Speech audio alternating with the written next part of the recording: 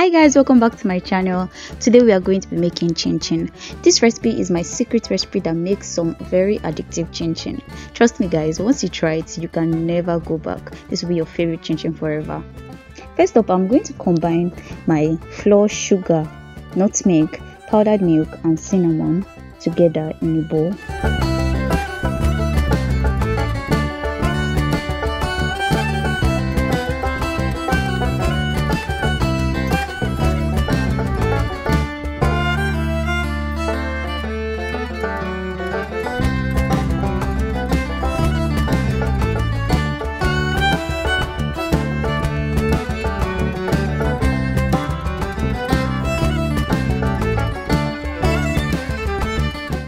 at this point we are going to bring out our margarine. You can use butter but i'm using margarine.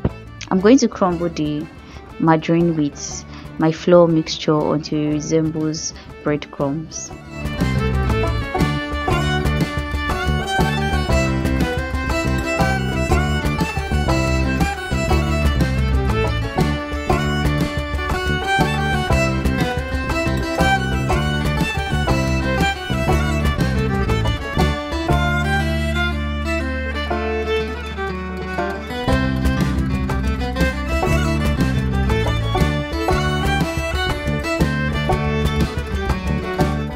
After the margarine has been incorporated into the flour mixture, I'm going to be whisking together my liquid ingredients, which are my egg and milk, to make it easier to pour into the flour mixture. So I'm making a well in the flour mixture, which I'm going to be pouring my liquid ingredients in.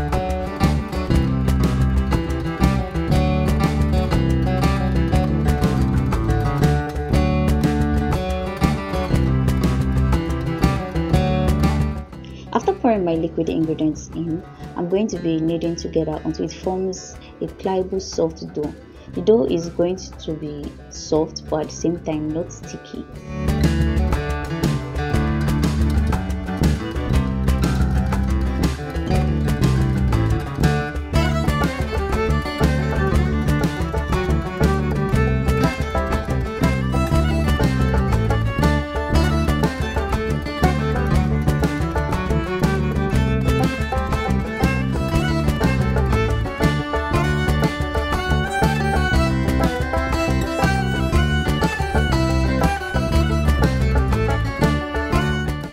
Now my dough has come together.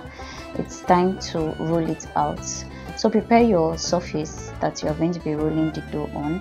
Make sure to dust it with flour so that it won't be too sticky to deal with. And then you just roll it out.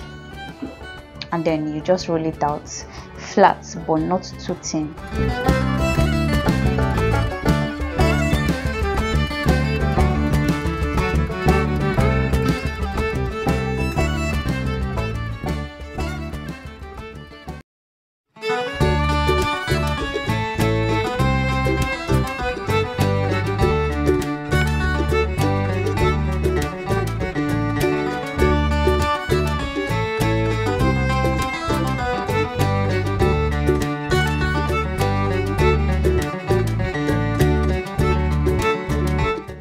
Now in the spirit of Valentine, I'm going to be using a love-shaped cookie cutter to cut out my chin chin but you can use any other cookie cutter you have or you can even use your pizza cutter to cut it out with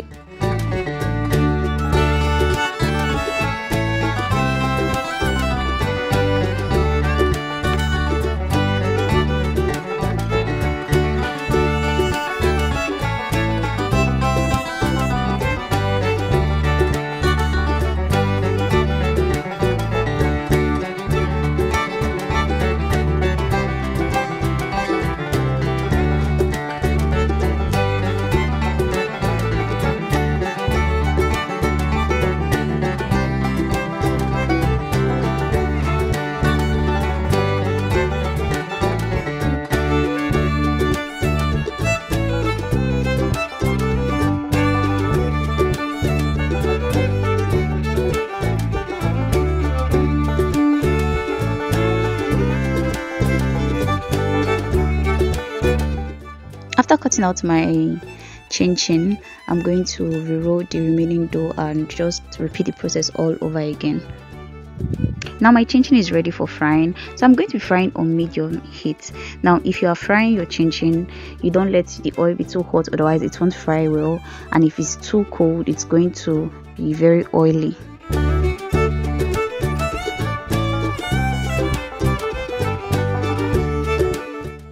occasionally stir the chin chin in the oil to make sure that all sides brown equally. The chin chin is now ready so i'm just going to be scooping it out with a sieve. In a bowl lined with paper towels to drain out the oil so if you try out this recipe please let me know in the comments below. And please if you have any questions please go ahead and ask. Please like please subscribe and, and share this recipe with your friends and family this valentine. Thank you for watching. Bye